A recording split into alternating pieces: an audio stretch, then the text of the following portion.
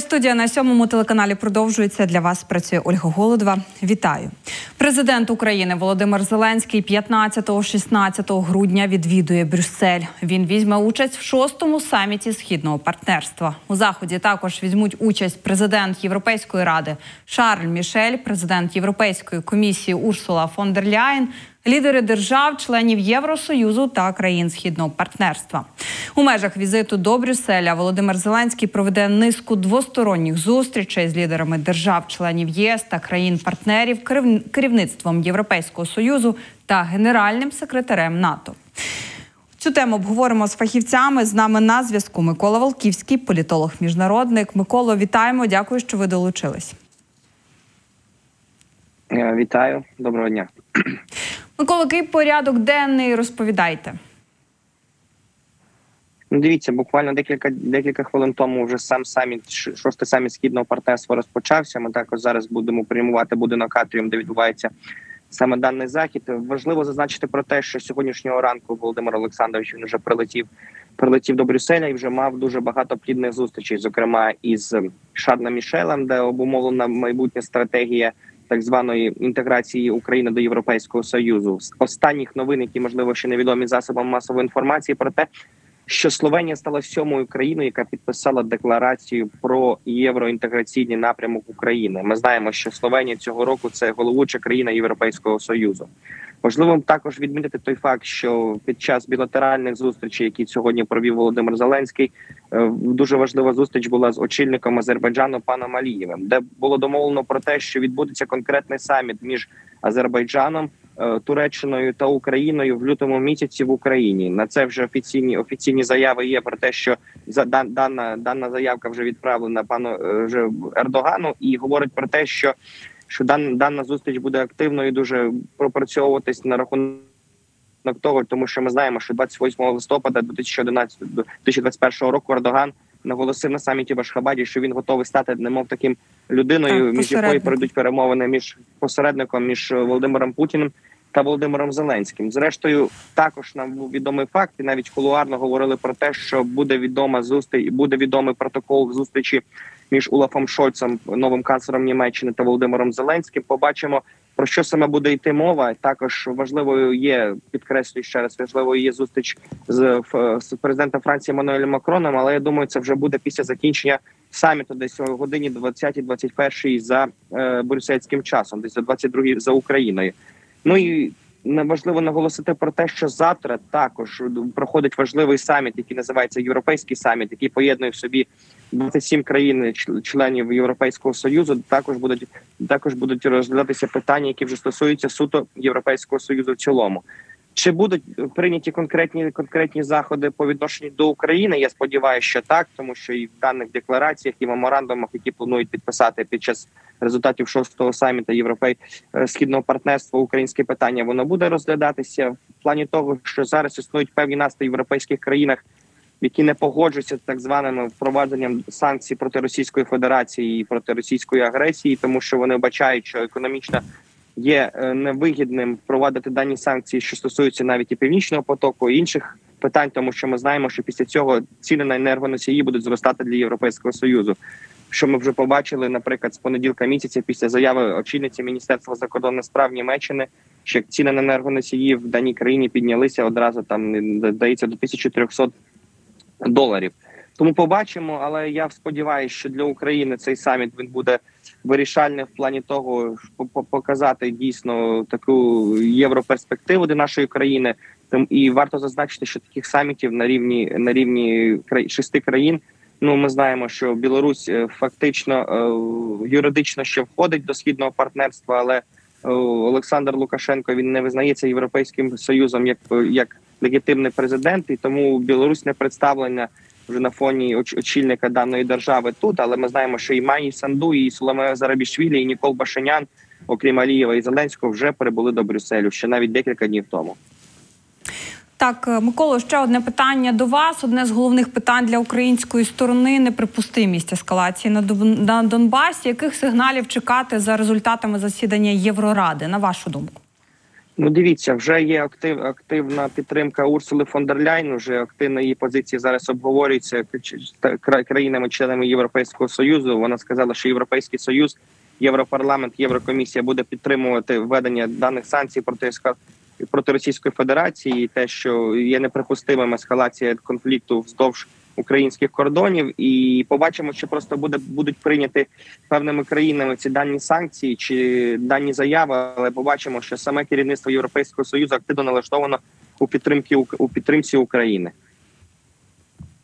Почули вас. Дякую, що долучились. Микола Волківський був з нами на прямому зв'язку.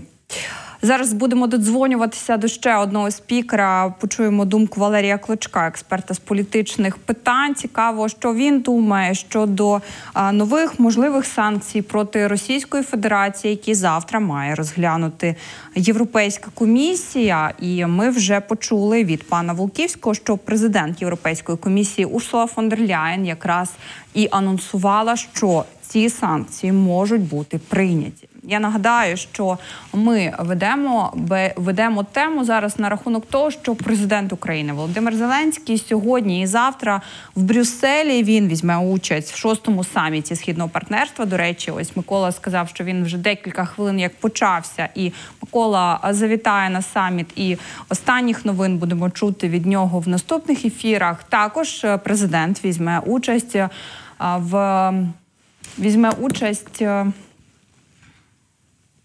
У заході також візьмуть участь е, президент Європейської ради Шарль Мішель, президент Європейської комісії Урсула фон дер Ляйн, лідери держав, членів Євросоюзу та країн східного партнерства. Почуємо зараз ще одного спікера. Валерій Клочок, експерт з політичних питань, долучається до нашої теми. Валерію, вітаємо. Дякую, що ви з нами. Добрий вечір, вітаю вас, друзі. Валерію, так е, шостий саміт е, східного партнерства в Брюсселі розпочався. Яких результатів чекаєте ви? Та я особливо ні. Для мене сама подія знакова. Чому знакова? Тому що анонс про цей саміт він уже ну, в просторах інтернету гуляє, мабуть, з рік. Ну, принаймні, обіцяли провести його ще в червні. Там в минулому році з низки причин, як то пандемічних не могли скликати. Але попередній був у 2017 році. Це доволі давно. Але сама історія з східним партнерством, яка розпочалася в 2009 році, вона засвідчила про готовність Європейського союзу розглядати свою політику на схід. Ну, звісно, ЄС, ем, як правило, дуже кволо визначається в тому плані, як ми можемо бути дотичні до європейських процесів. Зокрема, от ви слушно згадували про партнерів: це Азербайджан, Вірменія, Молдова, Україна, Грузія і Білорусь. Була Білорусь була, бо вона в цьому році заявила про односторонній вихід. І дійсно, ми ще з 2009 року дуже сподівалися, що в якийсь спосіб, а це рахуйте 12 років тому відбулося. Європейський союз буде сприяти е, Україні швидшому поступальному руху та інтеграції до європейської спільноти. Але на жаль, ну так не сталося. Сьогодні ми маємо чимало е, абсолютно зворотніх навіть процесів. Я так сказав би. Тому що доволі складно говорити, що, наприклад, ці всі країни, які перелічив, які я щойно перелічив, е, вони якимось чином там стали на крок ближче до членства ЄС. Тому від цього саміту я, чесно кажучи, окрім от чергових декларативних заяв, нічого не очікую. Так, європейський союз е, обіцяє виділити певну суму грошей на найближчі там кілька років для реалізації грантових проєктів, аби залучити інвестиції в країни східного партнерства. І суму називає там щось 17 мільярдів євро. Амбітна ціль, як на мене, але на всі країни це не такі великі гроші. Тобто, ну поки що європейський союз на фоні, в тому числі і війни в Україні, і інших військових конфліктів в Грузії, в Молдові. От зверніть увагу, що фактично всі ці країни східного партнерства не мають військові конфлікти. Азербайджан воює з Вірменією, у Молдові свій своє Придністров'я. У нас е, е, свій конфлікт, і в Грузії також проблеми. А Білорусь вона вийшла. Тому щось такого конкретного я поки що не бачу. Це швидше, знаєте, таке буде е, фіксація чергова. Е, прагнень до Європейського союзу, спільної політики на сході Європи, ну і так далі. Ну щось приблизно -hmm. такому руслі, як завжди, європейський союз любить робити. Валерію, ще одне з питань головних окремо українських питань непримустимість ескалації на Донбасі. І ось ми, до речі, почули від е, пана Миколи Волківського. Він зауважив, що Урсула фон дер Ляєн анонсувала ось санкції проти Російської Федерації. І також Микола розповів, що є ряд країн, які не підтримують ці санкції. Яких результатів, яких сигналів чекати за результатами засідання Євроради, на вашу думку? Я думаю, швидше за все, е, Європейський Союз, е, Європейська Рада, Європейська комісія вони обмежаться, ну дідуть висновку того, що обмежаться якимось санкці, якимись санкціями на випадок, якщо тому, що uh тут найголовніше е, треба буде розуміти, коли ці санкції можуть бути введені по відношенню до Росії. Європа не хоче ескалації відносин з Росією. Це очевидно, це видно. Це цьому свідченням є і. Е, наприклад, от останні скандали з Ангелою Меркель щодо блокування зброї постачання зброї до України, і в принципі навіть риторика Сполучених Штатів Америки в частині там не блокування запуску одного із потужних проєктів, які реалізовує спільно з Росією. Е, основна країна Європейського союзу Німеччина я маю на увазі Північний поток. 2 вказує на те, що е, якось погіршувати відносини із Росією Європейський Союз не збирається. Заяви, звісно, є. Це така сьогодні велика геополітична гра, яка має на меті не дійсно е, запобігання можливим силовим сценаріям військового характеру широкомасштабного наступу наступу на Україну, а врегулювання якихось е, своїх питань, тому що ну звернімо увагу, е, постійно говорять, е, що мовляв, щось відбудеться в Україні, але це говоримо не ми. В основному це говорять.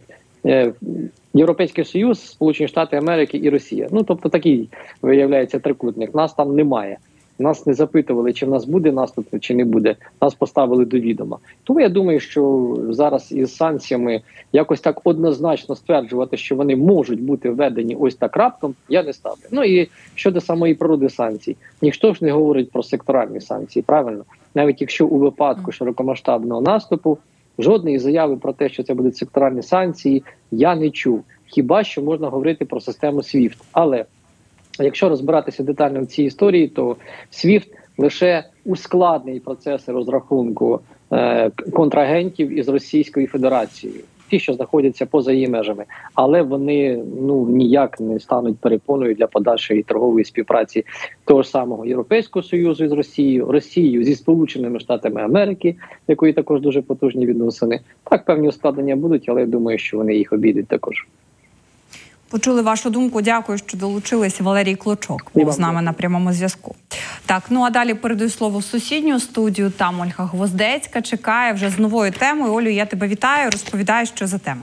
Привіт, Олю. Будемо говорити про те, скільки обіцянок передвиборних виконав мер Одеси Геннадій Труханов. Комітет виборців України провів такий собі моніторинг і, взявши передвиборчу програму Труханова, вона назва називалася 740, Нагадаю, хто не пам'ятає, е, у 2020 році була презентована і на бігбордах е, скрізь по місту.